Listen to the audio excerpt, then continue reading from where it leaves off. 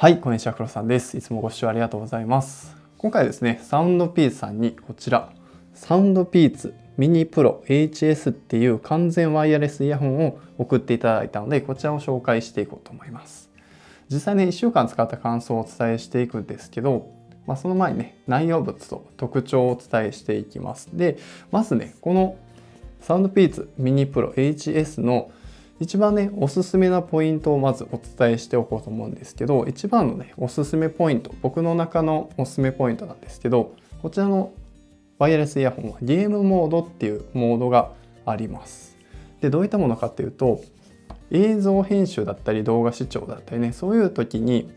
画面と画面の映像と音がねずれるっていう現象を抑えるモードとなってます。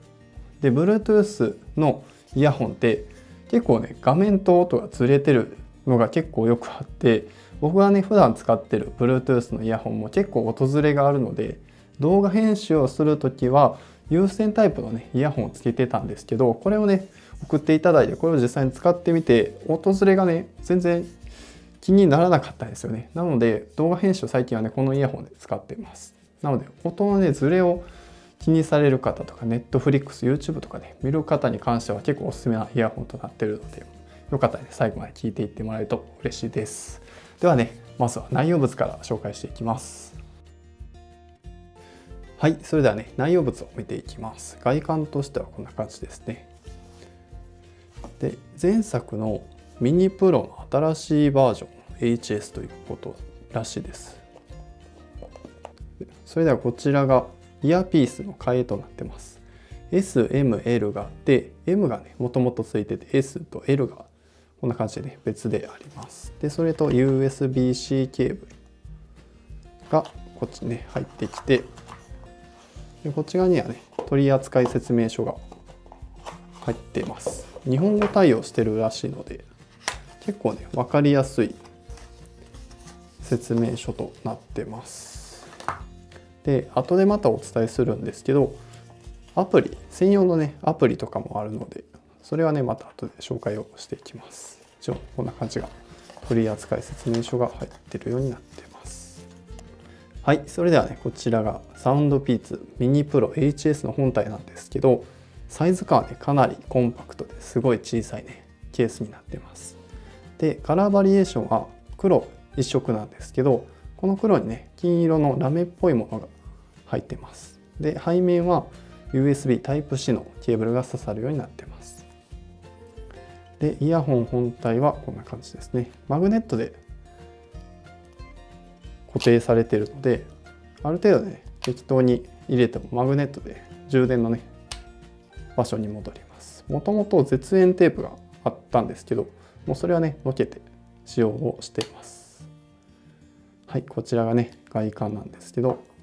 イヤホン本体はこんな感じですね。でこちら 10mm のダイナミックドライバーっていう大型のものがついてるみたいですね。でここはブランドマークとなってます。はい外観としてはこんな感じです。はいそれではねサウンドピーツミニプロ HS の特徴をお伝えしていきます。日本オーディオ協会認証を受けたハイレゾ音源の再生と高音質再生の LDAC に再生対応しているとのこととあとハイブリッドアクティブノイズキャンセリングっていうのが対応しているという形になってます。で重量なんですけどで重量なんですけどこちらの本体とイヤホン込みでだいたい 38g の重量となってます。かなりね小型のものとなっててケース込みで最大28時間の再生ができてイヤホン本体単品で8時間の連続再生が可能となってます。ノイズキャンセリングオンオフで再生時間変わっちゃうんですけどノイズキャンセリングオフの状態で最大8時間の再生となってます。はい一応ねこんな感じがこのイヤホンの主な特徴になってます。はい、それではね、こちらサウンドピーツのアプリを見ていこうと思います。ホーム画面はこんな感じですね。バッテリーの残量がまず表示されて、主なメニューなんですけど、ボリュームコントロールとアダプティブイコライザー。これは自動調整の項目なんですけど、で、こっちがイコライザーですね。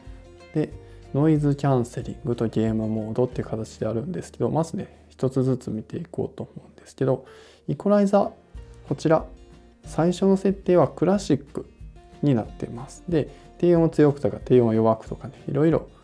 選べるようになってます。9項目ですかね。選べるようになってて。で最初に設定されてたこのクラシックなんですけど結構このイヤホン低音が強めのイヤホンでした。なので個人的に低音弱くだったり高音域の強調を使うと個人的な好みで言うとこの2つどちらかといえば高音強調ですかね。が結構好きな音でした。聞くものとか見るものとかによってはねこのクラシックでもねすごいいいと思います。これはね好みで選べるので自分でね選ぶようになります。でこっちのイコライザーカスタムはね細かい設定ができます。低音のね成分 100Hz とかを下げたりね上げたりすることで自分好みのね設定ができるんですけど、まあ、これ使わなくてもねこっちの方で結構十分だと思います。でこちらノイズキャンセリングモードなんですけどノイズキャンセリング通常モード外音取り込みモードっていう3つね項目があります。でこのノイズキャンセリングモードかなり優秀だって僕はあんまりノイズキャンセリングを今まで使ったことがイヤホンでねついてるものあんまり使ったことがなくて結構新鮮だったんですけどやっぱりノイズキャンセリングがあることによって電車の騒音とか車の騒音とかねかなり軽減されると思います、まあ、僕はね車の中でちょっと聞いてみた感じなんですけど結構ノイズキャンセリング聞いてました。で通常モードに関してはねもともとこれが密閉型なので通常モードではねかなり密閉感がある感じです。で外音取り込みモードなんですけど結構ね外の音を拾ってくれるのでマイク性能もね結構優秀なので、まあ、そういう外音取り込みモードも十分使えるかなと思いました。で今回ね一番おすすめしたいこのゲームモードこれをオンオフすることができます。オフの状態でもね結構早かったんですよ。ただこのゲームモードをね起動することによってもっとね遅延なく映像と音声の遅延なく再生することができるので個人的にねこのゲームモードがかなりね気に入って使っておりました。はいこんな感じがねサウンドピースのアプリの概要となってます。はいということでねサンドピーツミニプロ HS の